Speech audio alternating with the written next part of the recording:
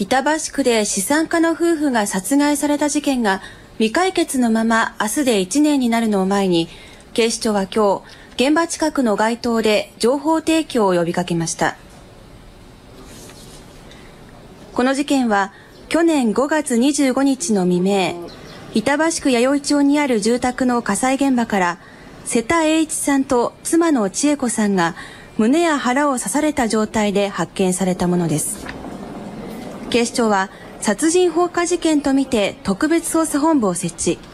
延べ1万4000人の捜査員を投入しこれまでに1000人以上から事情を聞いてきましたが